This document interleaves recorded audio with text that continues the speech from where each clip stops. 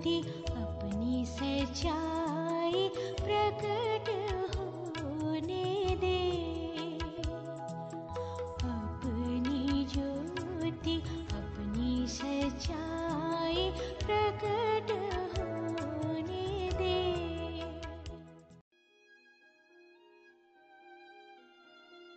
परमेश्वर के रहस्य बाटिए भाई भक्त सिंह के द्वारा सितंबर तेरह। परमेश्वर के चुनाव के रहस्य।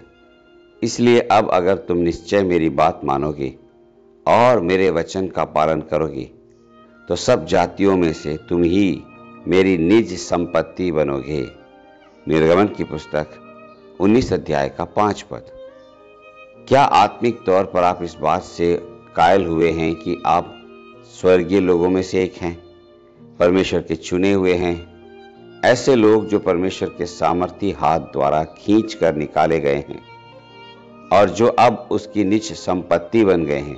इस शब्द पर ध्यान दे, उसकी निज संपत्ति। मनुष्य के चुनने का मानक स्तर, पद या स्तर या धन, संपत्ति या ख्याति होता है। लेकिन परमेश्वर का मानक स्तर इनसे अलग है। हालाँकि हम मैले चिथड़े थे पाप से बर्बाद हुए और बिल्कुल निकम्मे और नालायक। फिर भी प्रभु यह कहता है, हे मेरे पुत्र, हे मेरी पुत्री, मैं तुझे अपनी निज संपत्ति बनाना चाहता हूँ। अगर हम सिर्फ़ अपने आप को उसके हाथ में सौंप दें तो वह जानता है कि वह आपको और मुझे अनंत के लिए क्या बना सकता है। इसलिए जब परमेश्वर की आपको चुनने की इच्छा हो तो आपकी तरफ़ बढ़ रहे उसके हाथ का विरोध ना करें। भजन संहिता 106 के चार और पाँच पद में भजनकार यह प्रार्थना करता है, मैं तेरे चुने हुओं की समृद्धि देखूँ, तेरी प्रजा के आनंद में मगन हो जाऊँ और तेरी मिरास के लोगों के साथ महिमा करूँ।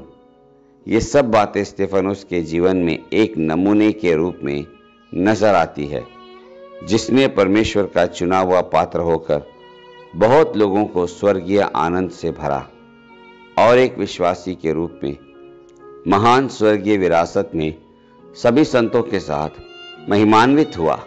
परमेश्वर की नज़र में एक जीवात्मा का मूल्य सारे जगत की सारी धन संपत्ति से बढ़कर है।